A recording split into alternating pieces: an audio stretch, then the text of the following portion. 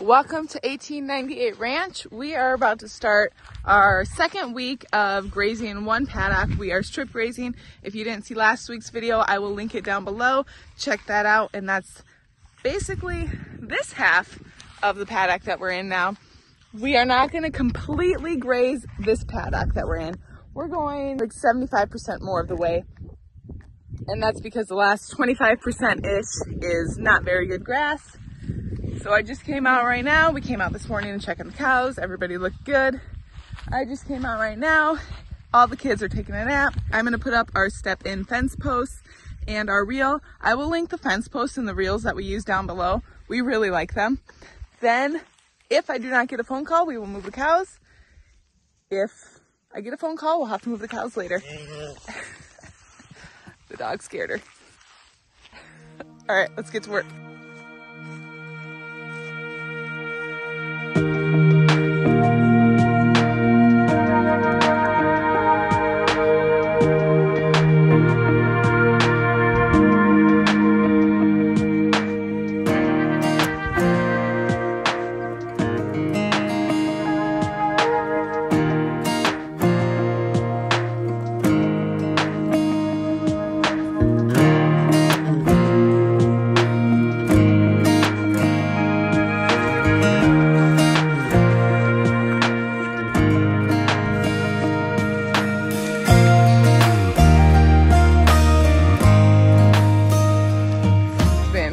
Crazy hot, crazy humid today.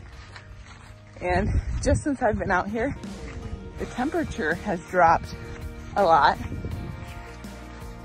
Clouds are coming in. Hopefully we're gonna get some more rain. All right, girls are ready. Let's move them. Uh,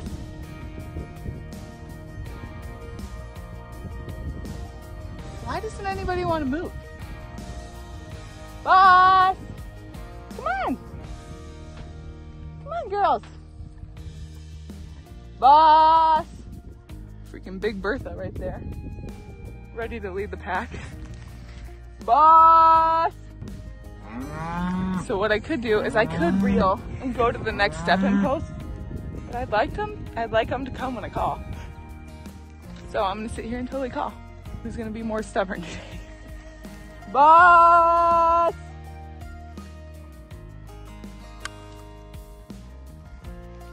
Boss! Boss! Maybe I just gotta walk. Boss! Now this is our first year grazing our own cattle. We have custom grazed up until this point. If you've seen any of my past videos, I've mentioned that before. So most of these girls are a little bit older. Not all of them, but most of them are a little bit older. Oh, this isn't exactly how we completely want our herd to look. There's some cows that there's some things we don't like about them, some cows that are perfect, but we're slowly going to make our herd into what we would like it to be. Nothing too, not, nothing bad, just things like the way their backbones or their hips are shaped and things like that. But all of these cows have been amazing so far and we're really happy with our purchases. We also have a new calf born. Oh no! You're stuck, Mama. Hold on.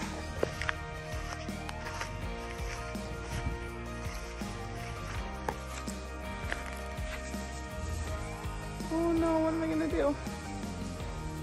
Can you get out of there?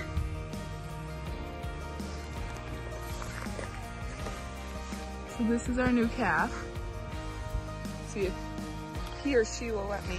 Nope. Okay. What am I gonna do? Okay, well this is not good. So usually my husband is the one to deal with this kind of stuff. But he is down and out for a few days. So I'm gonna have to try to get this wire off this cow by myself. And hope I don't get ran over. I have to put the phone down for this. I'll let you know how it goes. Okay, that actually went surprisingly well.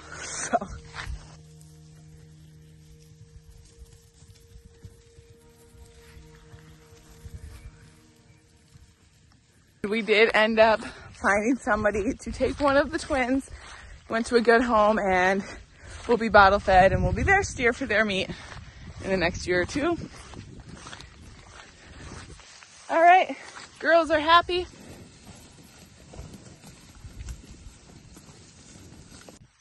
It has been six days since we came into this paddock, and I just want to kind of give an update on how the grass is looking in the paddock that we were in last week.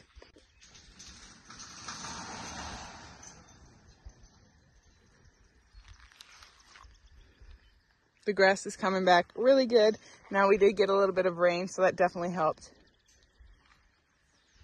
So this side is the side that we're about to move to. This is the side that they've been at for about 16 hours. So we've got a good amount of poop in one area. You can still see a bunch of grass up, which is what we want. We could maybe go a little bit longer As you can see some has not been eaten, but then obviously some has.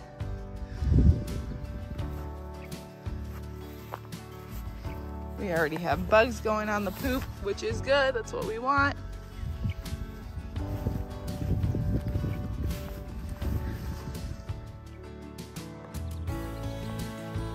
All right, so we walked through the grass. We checked everybody out. Now we're gonna move them.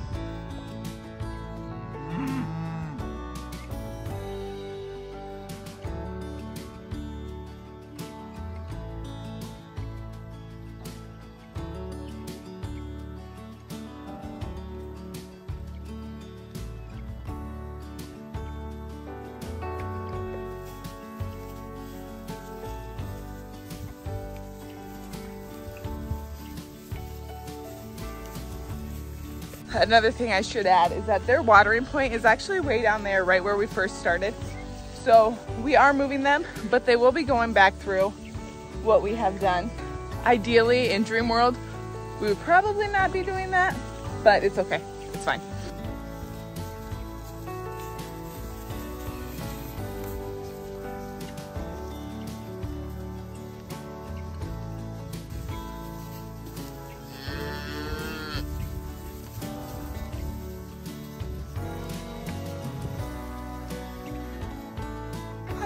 Baby girl.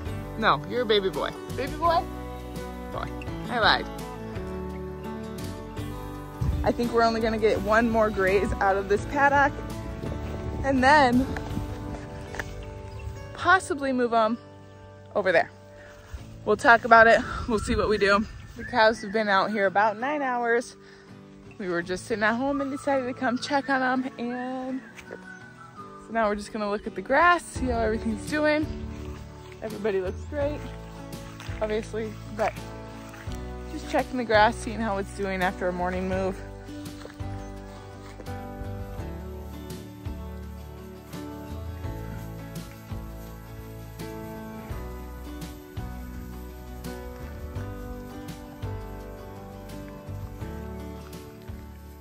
It is just about 10 o'clock in the morning on Monday. So today is the last day that we will be in this paddock. I wish that I would have thought about it yesterday. However, I didn't. But when we came out last night, I did get a little bit of a video. I will show it here. When we came out last night, I was walking back and I stepped on a pheasant hen. And it was the area that we had grazed yesterday. And there was some baby pheasants in it. So that was pretty cool. Yesterday I was saying that like 15 to 18 hours seems to be the sweet spot. But we are just about exactly 24 hours since we moved them yesterday. And this grass is looking pretty good. Did you have a baby?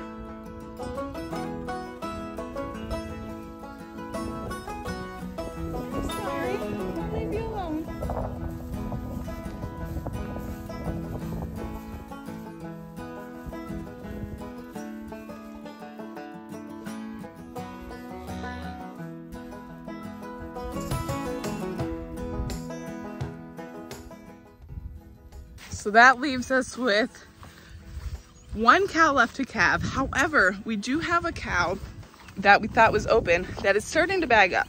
So I'm gonna say that leaves us with two. However, the second one is way past when she was in a bull with a bull. So we're confused. we didn't have her when she was bred. So she could have been somehow exposed to another one. We don't know for sure. Calving season is almost done. So I got the solar fence up. Rusty has got the next reel and step in posts up to make the next paddock and we are gonna move the cows now. Bye!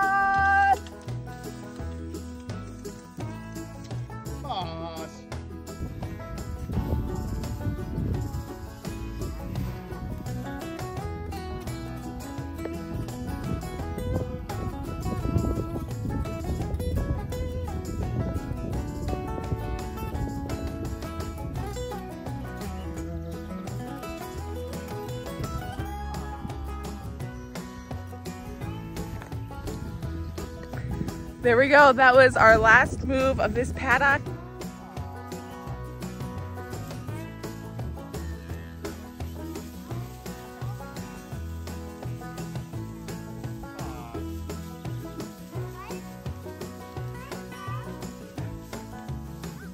I just ran and checked. We got another bull calf, which I'm a little bit bummed about, I'm not gonna lie.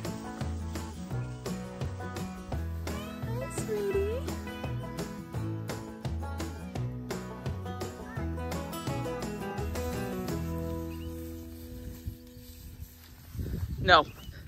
No.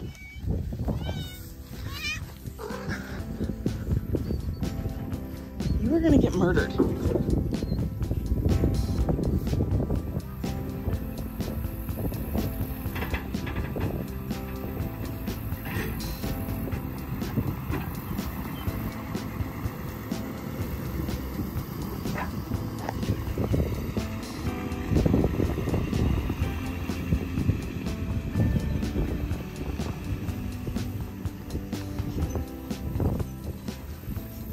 Just got back from picking up the last of the hay that we have bought so far.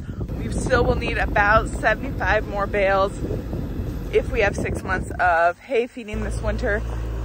And if we do not end up having to give them hay this grazing season yet, because we are in such a drought, grass is not growing back. We are in the possibility of having to feed hay this summer. Hopefully not, hopefully we get some rain and let the grasses grow, but that is a possibility for us.